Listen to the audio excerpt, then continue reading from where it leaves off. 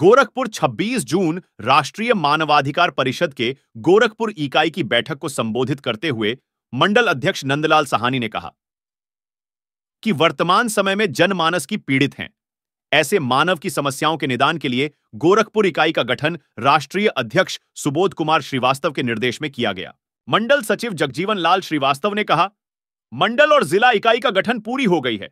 अब हमारी नज़र पीड़ित और उपेक्षित लोगों को न्याय दिलाने और संघर्ष करने की होगी। इस अवसर पर मंडल उपाध्यक्ष प्रफुल्ल कुमार चटर्जी, जिला महासचिव अश्विनी मिश्रा, संजय कुमार श्रीवास्तव, राखाल नंदी, अब्दुल शमीम, शिवेंद्रधर द्विवेदी, छत्रपाल सतीश चंद्र दुबे सहित कई लोग सम्मिलित रहे। इनकी उपस्थिति में लोकहित में कार्य करने का शपथ लिया गया तथा शहर के विभिन्न क्षेत्रों में वृक्षारोपण करने की योजना का निर्णय लिया गया।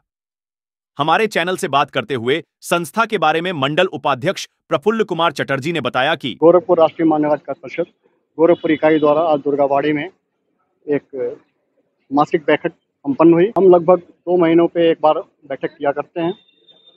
इस बैठक में हमने जिला स्तर, जिला इकाई को भंग करने के उपरांत जो सदस्य मंडल स्तर पर प्रोन्नत किए गए हैं, उनका परिचय, उनके आई कार्ड का वितरण कराया गया।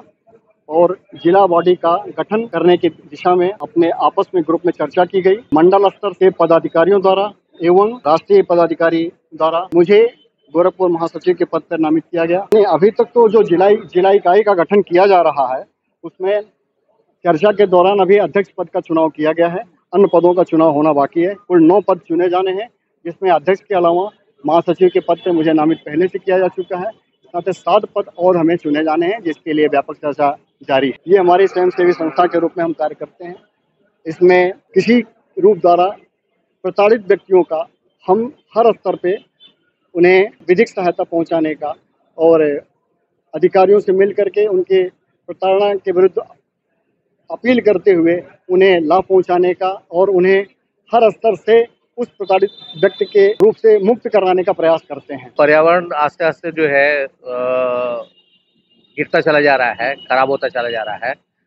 और हर हमेशा, हर जगह न्यूज़ पे, चैनल पे, टीवी पे, हर जगह ये समाचार आ रहा है कि पेड़ लगाना बहुत अत्यंत आवश्यक हो गया है। तो इस संबंध में हम यही आपसे बोलेंगे कि अपनी संस्था को यही हम बोल रहे हैं कि पौधे अधिक से अधिक लगाए, जिससे पर्यावरण में कुछ सुधार हो सके। और ये हमारी संस्था जो है, सिर्फ़ इसी तरह के कार्यक्रम नहीं करती है। ये ह्यूमन राइट्स मानवाधिकार से संबंधित जितने भी अनाधिकृत रूप से लोग प्रताड़ित किए जा रहे हैं, उनकी संरक्षा, उनको देखभाल, उनकी मदद करने के लिए इस संस्था का कार्य करता है। पुरुष, महिला दोनों इस संस्था से जुड़ना चाहते हैं, बिल्कुल जुड़ सकते हैं। जो पदाधिकारी हैं संस्था के, वो इनको देखते हैं कि भाई इनकी कार्यविधि क्या, कार्यकलाप कैसा है।